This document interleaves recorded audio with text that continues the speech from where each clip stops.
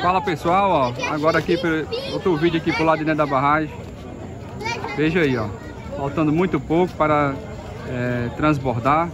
Lembrando que essa barragem ela começa a transbordar pela terceira boquinha lá, pessoal, e a última. São as duas, é, as duas partes mais baixas da, dessas, dessas paredes aí, desse espaço que tem, né? Conforme aí um, um amigo aqui de confiança informou, é, ele já acompanhou ela sangrando. Ele disse que primeiro ela, ela desce as águas na terceira boca e na, e na última de lá. Então, ó, faltando muito pouco, pessoal, para transbordar. Muitas pessoas, a cidade aqui praticamente parou aqui, pessoal, para acompanhar esse momento. Olha só aqui, ó. Olha o tanto de gente aqui, ó.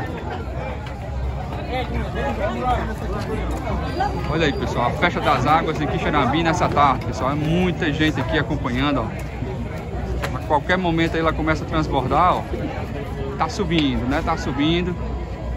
Hoje aqui não choveu, né, pessoal? Então, é, mas o tempo tá muito bonito aqui pra cima, ó. Vou mostrar aqui, ó. Ali, ó. Chuva, pessoal, ó. Pronto, ó. Chuva nas cabeceiras da Barra de Xirambinha, ó. Ali tá chovendo, ó. Então, muita água ainda vai vir aí pro Banabuiú agora, né, pessoal? Que a Barra de Xirambinha, se Deus quiser, nas próximas horas ela tá sangrando. Que é pra mostrar pra vocês agora, ó. Nesse momento, pessoal, dá o zoom máximo aqui. Olha lá, pessoal, ó tá na boquinha, pessoal, ó. Muito próximo de sangrar.